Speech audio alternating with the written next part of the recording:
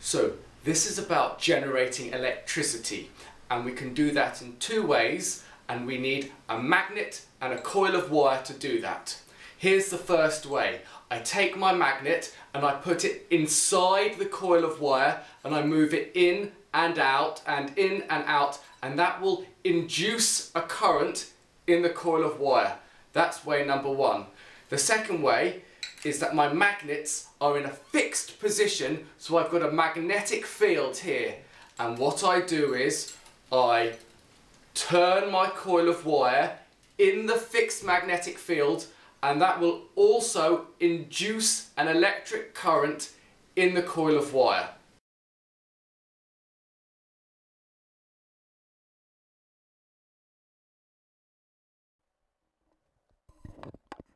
So generators induce a current that changes direction every half cycle. This is called an alternating current, AC. A battery, on the other hand, only gives out current that flows in one direction. This is called direct current, or DC.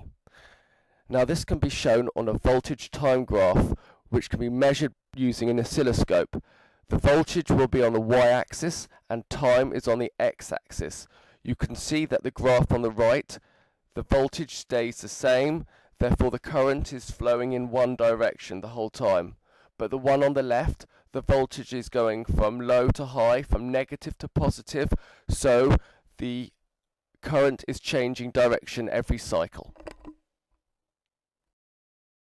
Now, there are four ways of making the current bigger to create a greater current.